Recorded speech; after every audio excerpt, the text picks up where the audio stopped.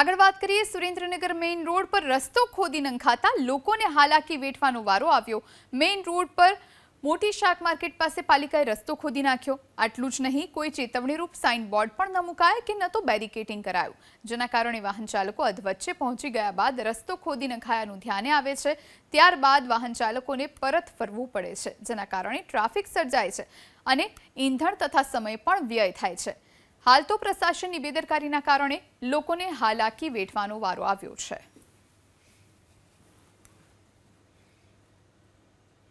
નવસારી નજીક આવેલા મોલધરા ગામે દીપડો પાંjre પુરાતા ગ્રામજનોએ રાહતનો શ્વાસ લીધો. મોલધરા ગામે છેલ્લા કેટલાક દિવસથી દીપડાએ ધામા નાખ્યા હતા. દીપડાની હાજરીના કારણે ગ્રામજનોમાં ભયનો માહોલ હતો. वन विभागે રાણાક વિસ્તારમાં ઘૂસેલા દીપડાને પાંjre પુરવા પાંજરા ગોઠવ્યા હતા. આ દરમિયાન વહેલી સવારના સમયે शिकारनी शोधમાં નીકળેલો દીપડો પાંjre પુરાયો હતો वन વિભાગે દીપડાને એનિમલ કેર સેન્ટર ખાતે ખસેડ્યો છે જ્યાં તેની તપાસ બાદ તેને ફરી એકવાર જંગલમાં મુક્ત કરવામાં આવશે